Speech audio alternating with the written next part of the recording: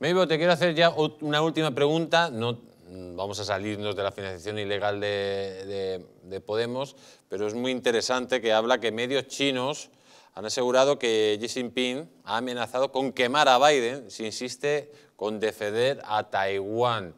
Eh, ahí tenemos la noticia que, por visto, tuvieron una, una reunión muy tensa entre el líder chino y el líder norteamericano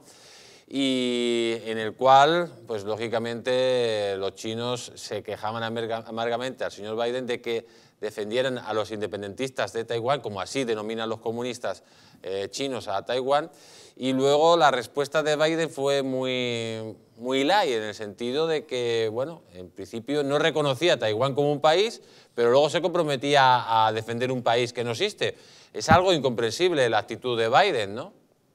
Muy incomprensible y muy preocupante. Cada día eh, pues se ve y se evidencia que el presidente de los Estados Unidos no tiene un control sobre el discurso que da, él se desmiente el mismo, la Casa Blanca tiene que salir a aclarar qué es lo que está diciendo Joe Biden a donde quiera que está. Esta conversación con Xi Jinping, que de acuerdo a los que estaban allí duró aproximadamente tres horas, se tornó bastante fuerte porque es política de los Estados Unidos apoyar la independencia de Taiwán y ha sido eh, parte, si se quiere, de los aliados principales de Taiwán para la defensa contra la política de eh, China que quiere integrar nuevamente la isla a su territorio. Creo que esto eh, va a generar problemas a futuro porque hemos visto también cómo son las posiciones del régimen del Partido Comunista Chino, que quiere avanzar en función de agregar y de establecer las